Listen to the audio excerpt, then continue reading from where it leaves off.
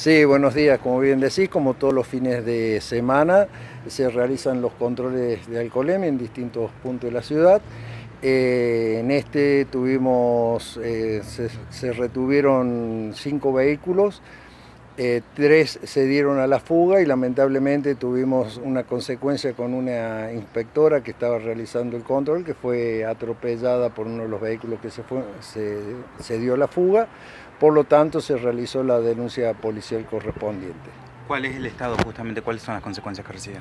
Bueno, gracias a Dios no fueron las consecuencias eh, graves. Eh, sí, bueno, tiene un problema en ambos pies porque le pisó los dos pies, que bueno, este, está ahora bajo el régimen de ART como corresponde por, por ley.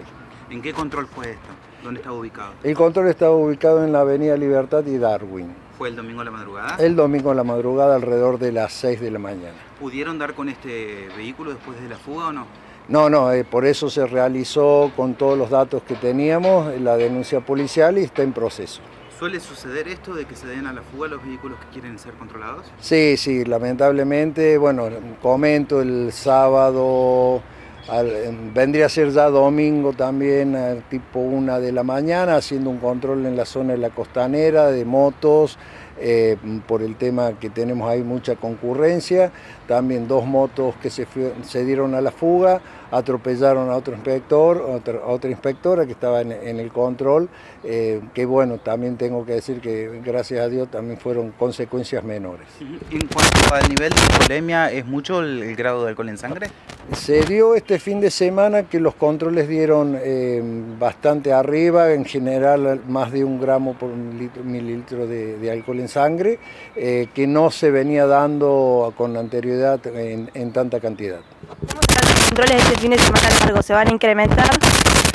Eh, lo que es el control de alcoholemia eh, eh, que realizamos semanalmente por ordenanza, ese se hace sí o sí, y sí hacemos controles no solamente por el fin de semana largo, sino que en todos los fines de semana o, el día que veamos que es conveniente, otros tipos de controles de carácter sorpresivo en distintos puntos de la ciudad.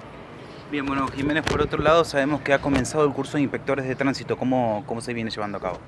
Sí, como bien decís, ya estamos aproximadamente a la mitad de la parte teórica del curso de tránsito, se viene desarrollando con normalidad, con mucha asistencia. Este año la verdad que hemos tenido eh, mucha cantidad de, inscriptos. Siempre se reduce un poco, pero venimos con más de 150, 160 aspirantes para inspectores de tránsito temporarios. ¿Es el número que esperaban más o menos? Eh, realmente no, realmente porque el promedio siempre fue de 100, 120 inscriptos y este año eh, superó ampliamente esa, esa cantidad. ¿Cuántas son las personas que más o menos van a quedar? Todavía, bueno, eso estamos en proceso de evaluación con el secretario y el señor intendente Daniel Gómez Gesteira eh, para ver cuáles van a ser las necesidades reales que tengamos en la temporada.